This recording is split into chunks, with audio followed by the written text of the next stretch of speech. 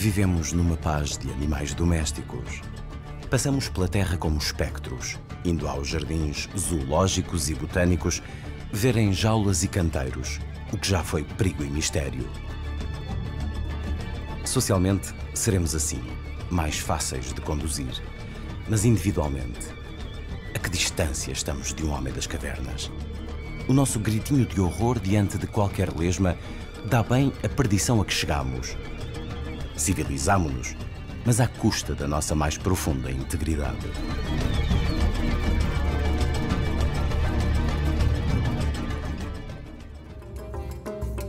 Em 1940, o jovem Miguel Torga assinou um pequeno livro chamado Bichos. 14 contos sobre animais que até as crianças liam e compreendiam. Mas será Bichos um livro infantil? A leitura do seu diário parece negá-lo. Torga andava preocupado com a perda da nossa essência selvagem. Será que ao evoluir, a espécie humana caminha, na verdade, para a perdição?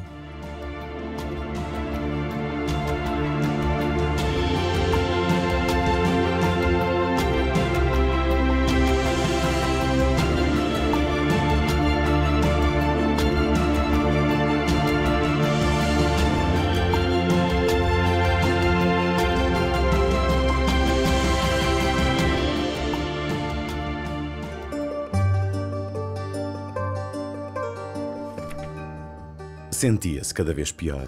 Agora nem a cabeça sustinha de pé. Tinha-se despedido já de todos. Nada mais lhe restava sobre a terra senão morrer calmo e digno. Dorga abre bichos com as últimas horas de um cão. Diante da morte, Nero olha para trás em busca de um sentido para a vida. Recorda os dias gloriosos da caça, a confiança do dono o filho que herdou os defeitos da mãe e por isso foi dado a um vizinho. E era pena, porque assim Nero morria ali só esquecido, sem ter sequer junto a ele alguém de família. Depois encontramos Morgado. Uma noite, ao atravessar o mato, é cercado por lobos. O dono monta-o e pica-o para que fuja a galope. Mas quando o burro sucumba ao esforço, o dono deixa-o à sua sorte. Então Morgado mergulha numa reflexão invulgar para um burro. As histórias de bichos pareciam algo mais que simples fábulas.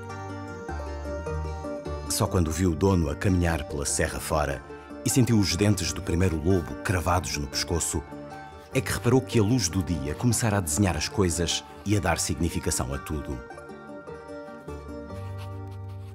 Porque elas aparentemente parecem muito simples. Nós temos a sensação de estar perante uma transparência e uma simplicidade na descrição do cão e do gato e do burro e do galo, mas há por detrás dessa transparência uma necessidade de uma interpretação, alguma opacidade, alguma resistência. Mais adiante, somos apresentados a Tenório, um galo atormentado por dilemas semelhantes aos de Nero e Morgado. Viveu, brilhou e agora confronta-se com o declínio. Galo velho. Isto é que era uma vida. Andava um homem, sabe Deus como, e logo uma sentença sem apelo. Galo velho. Tenório era ultrapassado pelo próprio filho. Tinha a sua estirpe, já chegava para as galinhas e até já cantava. O último som, aliás, que Tenório ouve em vida é justamente esse canto cruel do novo galo da capoeira. Que se passa com estes bichos? Que dilemas tão humanos estão eles a viver? A casa nativa, o retiro sagrado da memória, a eternidade paralisada. Miguel Torga nasceu em São Martinho da Anta, trás os montes, em 1907. De família humilde, não foi a vocação, mas a necessidade que o levou ao seminário. Mas os seus desacordos com Deus cedo mandavam para o Brasil trabalhar na roça de um tio. Como prémio, o tio paga-lhe o curso de medicina em Coimbra. E aí, Torga exerce largas décadas sem nunca se deixar tatuar pela cidade volta sempre que pode à terra natal. palmilha a pé as serras, atende gratuitamente os doentes da aldeia e é lá que quer ser sepultado em Campa Rasa, depois de ser um dos maiores escritores de Portugal e do mundo, várias vezes proposto ao Nobel. Porquê? Encontro-me aqui. Desde há muito que eu sei que sou usufrutuário de uma herança sagrada, que só merecerei se nunca me esquecer que São Martinho é o berço onde tenho de nascer todas as horas Porque Torga, a sua obra e a sua terra eram uma e a mesma coisa. O local de nascimento de um homem é o eixo do mundo. A terra pode-nos escravizar, como uma mãe, que às vezes gosta tanto do filho que o abafa. Não é? Ora, o Torga, o que achava é que nós devíamos ser fiéis, honrar as nossas raízes. Ele dizia: Sou do povo, sou pelo povo, e não há forças que me apaguem do instinto a cepa de onde provenho. É isto é fundamental. Torga escreve poesia, teatro, conto, romance. Mas qualquer que seja o género, há algo que permanece. Uma autenticidade que recusa malabarismos verbais para se concentrar no âmago visceral da vida. Que verdade literária seria esta que Torga buscava? Torga era médico. E os médicos, eh, pois, procuram eh, obsessivamente lutar contra o mal. E, e a obra de Torga, a obra literária de Torga, é também uma busca, uma busca constante para identificar eh, o mal e para lutar contra o mal. Muita alegria tem tal bicho. A alegria passa-lhe, é deixar vir o inverno.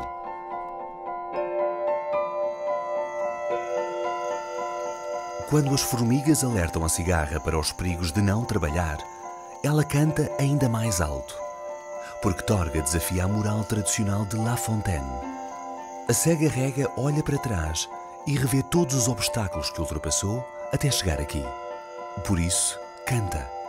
Não para o mundo, mas por ela, para celebrar a sua vitória no grande teatro da vida.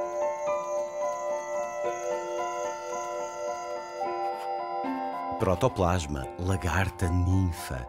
Quase que sentia ainda no corpo as fases da transfiguração. Mas pronto, chegara. Agora era receber o calor do presente e cantar. O Torga está também no conto Cega-Rega, que é a cigarra.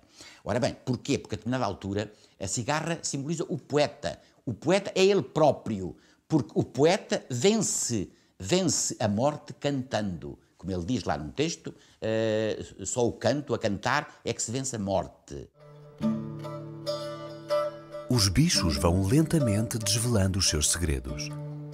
Neles estão a filosofia e a ética de Torga.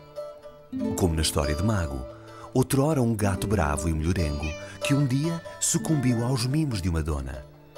Domesticado e humilhado, regressa ao convívio da rua. Mas quando os velhos amigos o provocam, envolve-se numa luta que perde vergonhosamente. Jogara naquele lance o resto da dignidade. Ele que tivera nas mãos possantes e nervosas o corpo fino e submisso da boneca. Ele, o escolhido da moira negra. Ele, mago, relegado definitivamente para o mundo das pantufas e dos tapetes. Mago é o paradigma do animal que se deixou civilizar e enfraquecer. É uma sombra de si mesmo. Nós sabemos perfeitamente que ele também, através daqueles bichos, quer dar recados, não é? Todos eles. Não é? Poderá a história do inofensivo mago conter algum recado? Ter alguma coisa a ver com política, por exemplo? É possível. Gostaria de esclarecer desde já que, não sendo filiado no partido, presido a esta reunião na simples qualidade de homem socialista que sempre fui. Homem mais sensível a uma ética do que a uma ideologia, mais espontaneamente fraterno do que disciplinarmente correligionário, mais atento ao imperativo dinâmico de vozes remotas de que ao momentâneo encantamento dos ecos doutrinários. Miguel Torga dizia que o seu partido era o mapa de Portugal. Crítico impiedoso de Salazar, jamais aceitou submeter-se, contudo, à ortodoxia de um partido. Discursou nas primeiras reuniões do Partido Socialista, mas, ao contrário do gato mago, a sua rebeldia não aceitava domesticações. O Torga nunca pertenceu a nenhum partido e fez o seu percurso solitário. Foi preso sem pertencer a nenhum partido, não pertencer aos grupos neorrealistas, nem ao grupo de etc. Pertencia sempre vagamente a um grupo da oposição. A oposição quis Miguel Torga fazê-la sozinho. Censuraram-lhe livros, foi seguido e preso pela PIDE. Recusa prémios por serem dados pelo regime e, certo dia, confessa a um jornalista francês: Sentimentalmente, sou um socialista, mas por dentro continua um anarquista, um rebelde. Porque ele era um exemplo de cidadania. Ele foi considerado injustamente a consciência moral da nação. E nos tempos que vivemos, é? de falta de caráter, falta de lisura, de verticalidade e até de amor à pátria, porque a pátria é um conceito é um conceito afetivo, indefinível. É a cultura, é a história, é o passado, é o futuro, é a esperança, é tudo isso, não é? Ah, e, portanto, ele faz, sobretudo, falta à pátria.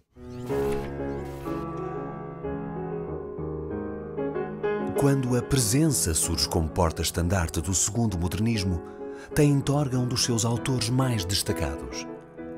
A revista defende uma literatura viva e livre e estão lá alguns dos maiores nomes das letras de então.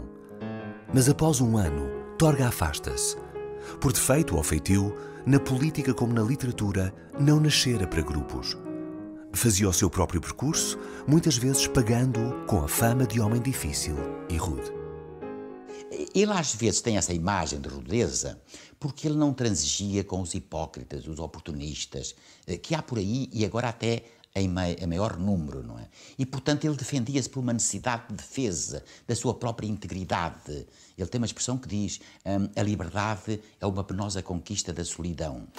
Nasci tão chegado às origens que até na criação literária sou como as leiras da minha meninice. No fim de cada colheita pareço estéril, maninho, em restolho. Nem para publicar os seus livros aceita submeter-se a regras de ninguém. Por isso, paga do próprio bolso as edições que faz na tipografia de um padre amigo a troco de um preço cristão. Acima de tudo, Torga permanece um camponês da aldeia. Uns plantam árvores de fruto, ele semeia palavras me confesso ser tudo que possa nascer em mim, de ter raízes no chão desta minha condição, me confesso de Abel e de Caim. Confesso ser homem, ser um anjo caído do tal céu que Deus governa, ser um monstro saído do buraco mais fundo da caverna. Me confesso de ser eu, eu tal e qual como vim, para dizer que sou eu aqui diante de mim. O sintoma mais claro da personalidade de Torga está escondido no seu pseudónimo. Adolfo Correia da Rocha, a partir de 1934, passa a assinar Miguel Torga. Porquê? Miguel de Unamuno de Cervantes, mas também de outra coisa. Miguel quer dizer quem como Deus. E esta, e esta para mim, passa, é um pouco a, a pedra que ajuda a fechar esta, a, a, explicação do Torga, do pseudónimo do Torga. Quem como Deus? Quem como Deus? Ele, quem como Deus, se opõe como homem da terra, como bicho, como bicho da terra, o Torga opõe-se absolutamente. Quem como Deus cria a sua obra e quer deixá-la aos vindores. E Torga, da planta retorcida e forte, urze brava nascida na serra. Com Miura, Bichos revela-nos em definitivo a grandeza moral do animal selvagem. Um touro lançado na arena tenta perceber o que esperam dele. Admirado, Miura olhava aquela fragilidade de dois pés. Com ar de quem joga a vida, o manequim de lantejoulas caminhava sempre. Miura investe, mas o manequim esconde-se atrás da capa. A plateia aplaude a humilhação. Uma vez e outra e outra, até que do alto da sua dignidade, Miura vê a espada e oferece-se à morte por não suportar mais aquela tortura absurda. A lâmina oferecia-se inteira. Miura fitou-a bem. Depois, numa arremetida que parecia ainda de luta e era de submissão, entregou o pescoço vencido ao alívio daquele gume.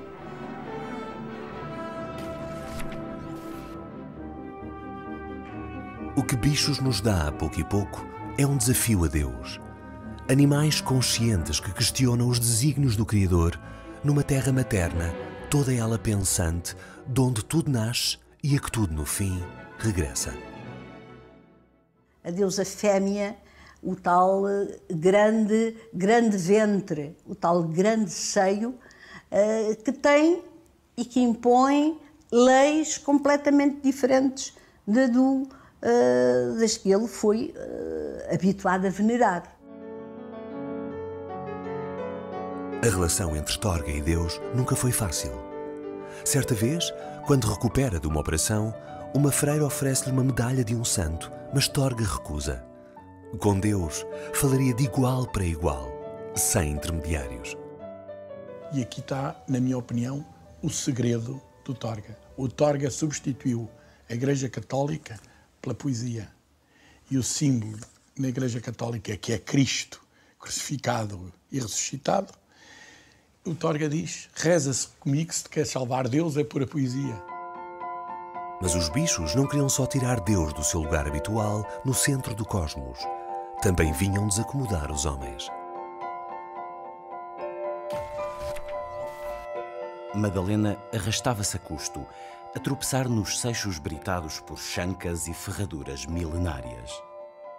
Madalena, que estranhamente aparece ali no meio dos bichos, é uma mulher Hum? É uma medeia de Trás-os-Montes, apetece-me dizer, eh, que foi engravidada por um, por um homem que uh, não quis casar com ela e que uh, se, se, isola nos montes para, para, para parir o filho sem ninguém, que escondeu a sua gravidez, sem que ninguém se tivesse apercebido que ela tinha sido mãe.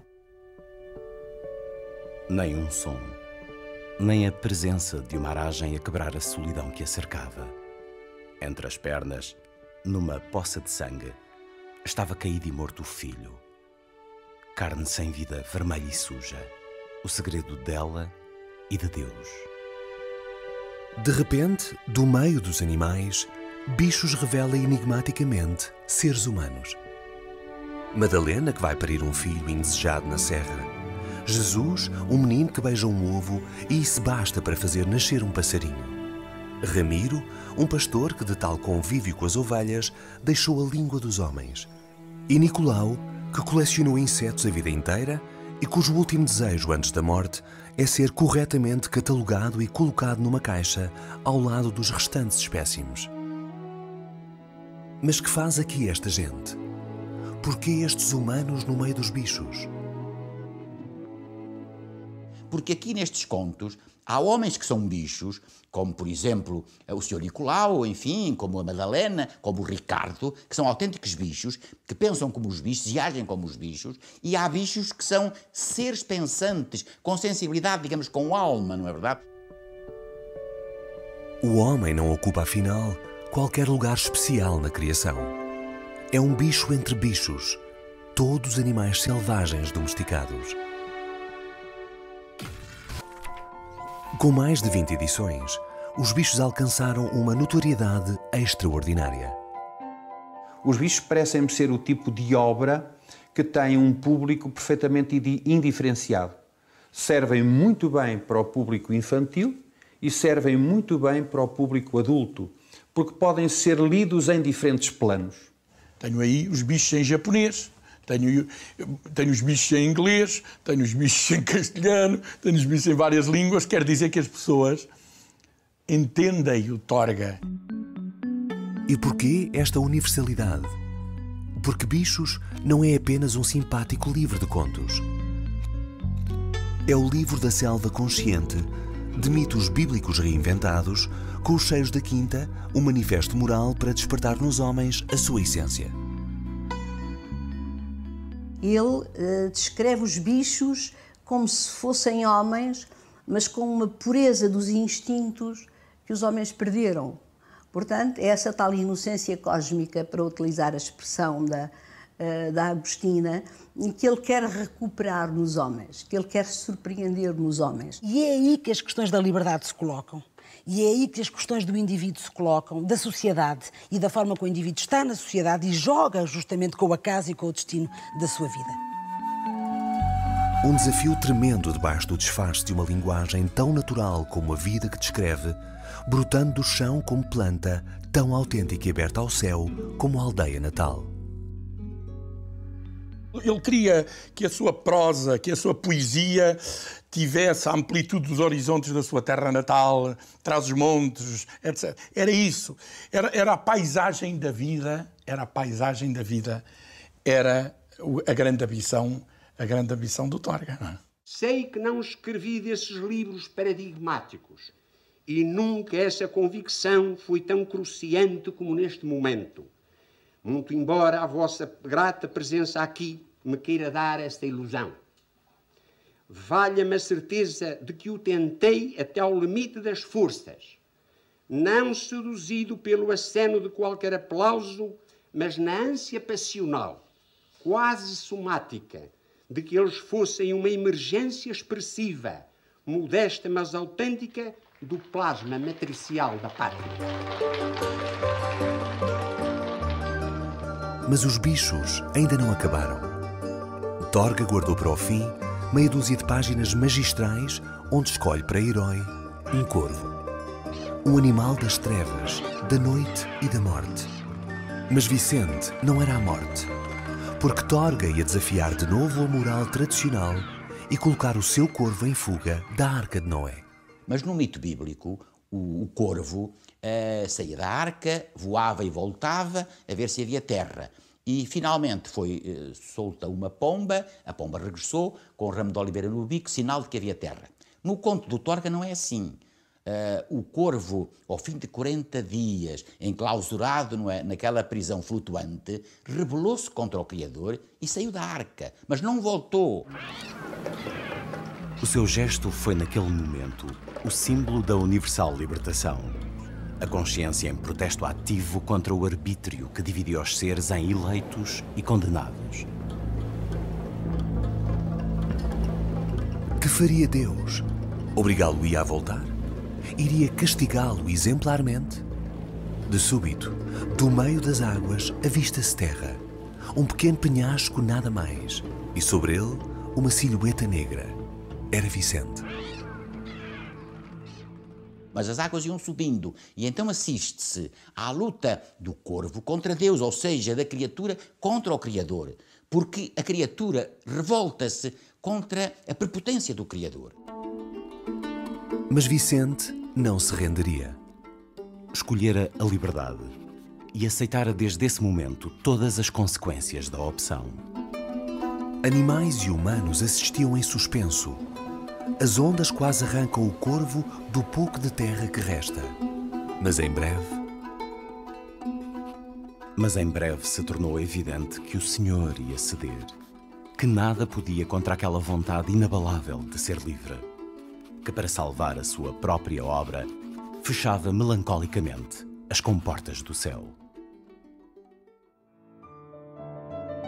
Nas primeiras edições de Bichos, o conto terminava dizendo que Deus nada podia contra a vontade inabalável de viver.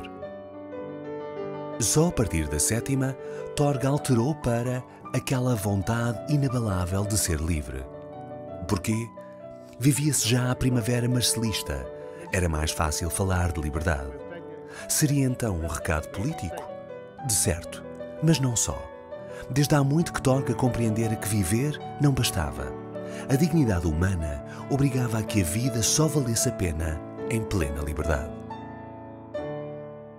Liberdade que estás na terra. E a minha voz crescia de emoção.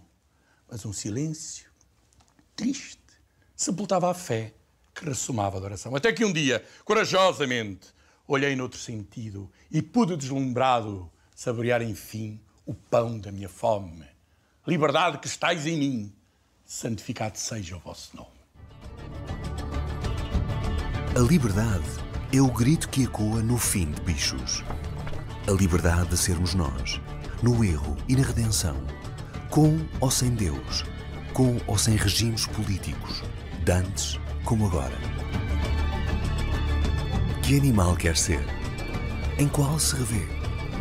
Seria capaz de fugir à arca de Noé? Buscaria ainda um pouco de terra por entre o dilúvio? Num tempo em que por vezes todos nos sentimos animais de quinta, controlados e formatados, bichos lembra-nos que debaixo de regras e linguagens, todos provimos de um paraíso por reencontrar. Uma essência instintiva que nos manda amar, morder, bater, saltar como bichos. Os bichos que somos.